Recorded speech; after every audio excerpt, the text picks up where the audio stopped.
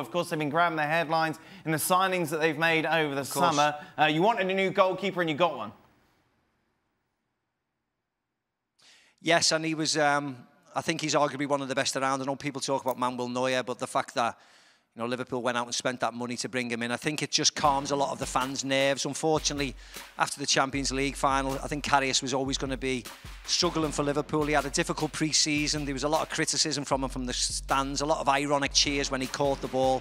And um, Jurgen Klopp had to go out and get a goalkeeper, and he's gone and he's gone and bought a really good one. I think he tried to. He was interested in, in Oblak as well but he was um, they wanted too much money for him at Atletico Madrid and the fact that he's gone and got the person that he wanted and he was always being muted that Liverpool wanted this goalkeeper the fact that they've gone and got him I think is a big signing a really big signing and it says a lot about what Jurgen Klopp wants this year Have they taken over Manchester United now uh, as the title challengers in your opinion Macca? Hmm. Well, I think so, mate. I think if you, we, we all know that the next 10 days is going to be madness in the, in, in the Premier League, don't we? Um, but the fact that Liverpool have done their signings early, they brought the type of players in, and the, coupled with the fact that Manchester United have only bought Fred, Chelsea have been in disarray and bought Jorginho in, you know, Tottenham, and with all respect, Arsenal haven't bought, I know Tottenham haven't brought anybody in Arsenal brought a few players in, a different type of player than, than Arsene Wenger would, would have brought in, but Unai Emery's brought in. I just think I see Liverpool uh, who have done the best business in this transfer window. That's why you can see them usurp Manchester United, but we well know that of course, they, United, City, everybody will probably buy a lot of players now until the dead, uh, deadline day on, on August the 9th.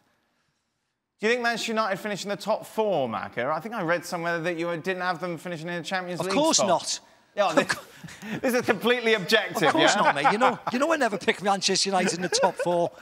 That's a ridiculous suggestion. Of course, I'm having them out of the Champions League spots. So this has I hope nothing they struggle to do. Very, I hope they really struggle. Nothing to do with professionalism. this is all down to your rivalry with United. Despite the fact they're third favourites, despite the fact they finished second last season, uh, you can't give me a solid reason but for your hatred Listen, for them. It's, it's got it's got nothing to do with my with my rivalry. It's it's my uh, immaculate and accurate predictions. I predict they'll be out of the top four this year. That's all. It's nothing to do with my, oh, my no. rivalry and my dislike for them. Macca, I was, I chatted to Steve about this. Where, where, do you stand with regards to success for Liverpool? He, I, he was saying he'd prefer them to finish second, so, really push City, as opposed to, for example, finishing third, but winning the FA Cup as well. Um, I would personally uh, like them to win some silverware this year. I think until they win silverware, there'll be questions about Jurgen Klopp because of his records with Dortmund and his record in cup competitions.